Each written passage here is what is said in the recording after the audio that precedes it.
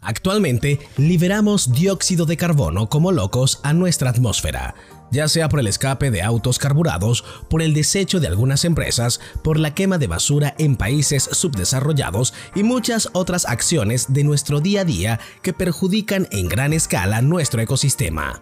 La realidad es que si continuamos haciendo oídos sordos a este problema, más temprano que tarde estaremos siendo testigos presenciales de sus más que terroríficas posibles consecuencias. Recordemos que tenemos más de un siglo extrayendo el carbono del subsuelo, el que ha estado ahí más de cientos de millones de años, siendo solo nosotros los responsables de liberarlo a la atmósfera y nuestros océanos, logrando cambiar drásticamente la composición química de nuestro planeta de una forma drástica. Y ahora necesitamos recuperar todo ese dióxido del aire y del mar para darle un uso adecuado o regresarlo a su lugar de origen. Esta idea ha capturado el interés de Musk. Si este tema también ha captado tu atención, puedes ponerte cómodo y disfrutar de este video. Y aprovecho el momento para invitarte a suscribirte a nuestro canal si aún no lo has hecho. Si ya estás suscrito, te ganaste un gran aplauso y sinceramente agradezco tu apoyo. Ahora sí, continuamos. A Elon Musk siempre le ha llamado la atención todo lo relacionado con la energía sostenible, opciones para solucionar el problema del cambio climático y por lo que es consciente de que su empresa SpaceX es responsable de liberar grandes cantidades de carbono en cada lanzamiento de sus cohetes. Sintiéndose culpable de esto, decidió financiar nuevas tecnologías e innovaciones capaces de lidiar con este problema y conseguir lograr la captura de carbono, lo que sería una solución a esto, que no solo ayudaría a la vida en la Tierra, sino que lo acercaría aún más a cumplir su sueño de colonizar Marte. Aunque muchos estamos familiarizados con las palabras cambio climático debido a sus constantes menciones a diario, a veces no logramos comprender del todo a qué se refieren con estas palabras.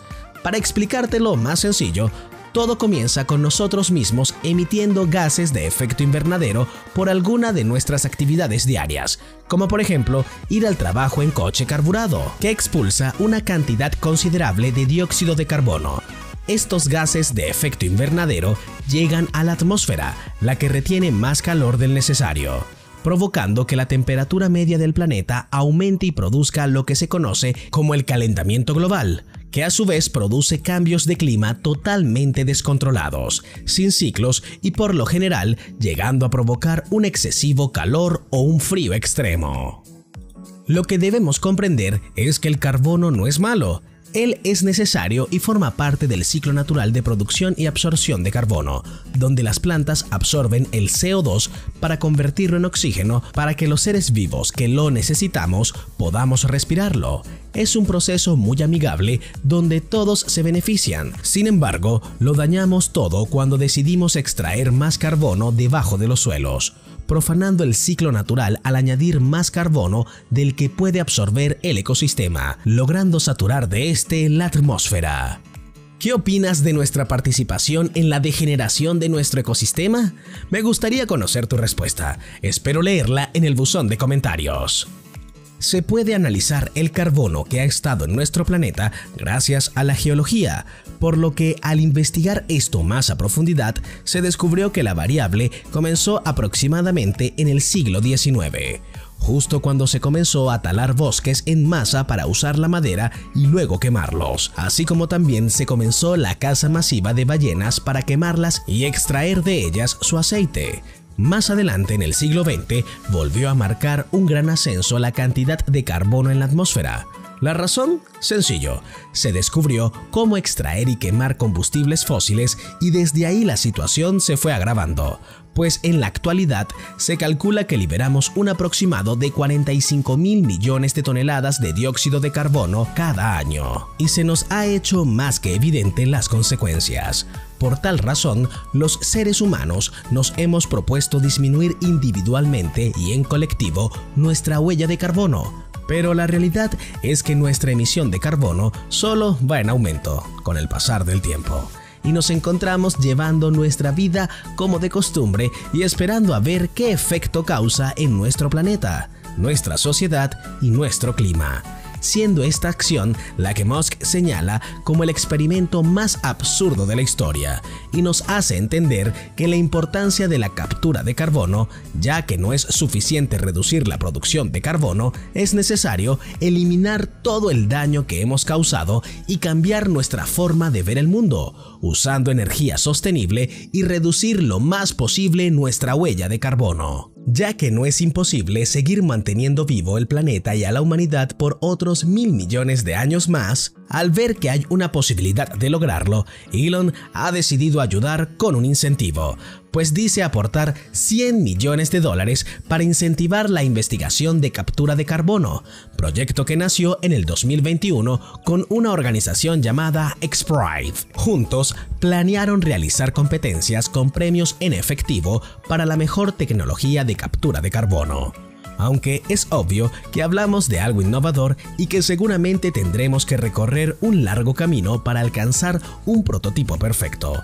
Debemos saber que lo mejor es comenzar a trabajar en este objetivo de una vez por todas y un buen comienzo es el que planea Musk con XPRIZE, que básicamente es realizar una competencia donde se pueda contar con equipos de ingenieros y científicos que trabajen en conjunto para construir prototipos funcionales de captura de carbono ya que este recurso no es solamente de diseño, sino que se debe extraer carbono del aire de forma activa, específicamente una cantidad de mil toneladas al año el primer lugar del concurso recibirá 50 millones de dólares, mientras que los otros 50 millones de dólares se distribuirá entre los otros tres finalistas.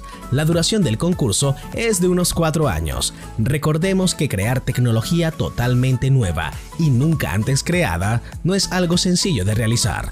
Entonces tendremos que esperar hasta el 2025 para conocer al ganador de los 50 millones de dólares y el prototipo que este muestre. En este momento, la tecnología que predomina se llama captura de aire directa. Básicamente, es como colocar un purificador de aire gigante en la atmósfera, una enorme variedad de ventiladores atrayendo aire y forzándola a atraerla dentro de un filtro que atrapa el carbón, permitiendo que del otro lado salga aire más limpio, para luego depositar bajo tierra de regreso a donde provino todo el carbono extraído. En la actualidad, hay solo una planta trabajando con esta tecnología y está ubicada en Islandia. Lleva por nombre Orca y es operada por una compañía llamada Cleanworks. En la planta hay 8 recolectores y capturan un aproximado de 500 toneladas anuales, haciendo prácticamente el trabajo que harían 40 millones de árboles. Y si bien quizás pienses que Musk está siendo excesivamente generoso apoyando con esa suma de dinero para lograr encontrar tecnología que ayude con nuestro problema del carbono en la atmósfera, la verdad es que tiene motivos ocultos. Todos sabemos de los planes de Musk de colonizar Marte, pues para lograrlo necesita tener un gran conocimiento sobre captura de carbono. Los cohetes despegarán sin problemas de la Tierra y contarán con el combustible necesario para llegar al planeta rojo. Sin embargo, una vez allí, debe reunir los minerales necesarios para la elaboración del combustible de su cohete. Una vez estén en Marte, no será tan complicado, pues todos los elementos necesarios se consiguen en el planeta rojo, incluyendo el carbono, pues este planeta es rico en este material. Entonces, podemos llegar a la conclusión de que Elon está tan interesado en ayudar al planeta como en reabastecer sus cohetes cuando se encuentren en Marte. Pero pensándolo bien, sí puede ayudar en ambas cosas. ¿Por qué enojarnos? Después de todo, sus motivos ocultos no son siniestros. ¿Qué opinas de los intereses de Musk? A mi parecer, no son tan egoístas después de todo. Ahora, si te ha gustado el video, regálanos un like. Si aún no te has suscrito, te invito a hacerlo y para que no te pierdas nuestro contenido nuevo, recuerda activar la campanita de notificaciones. Hasta un próximo video.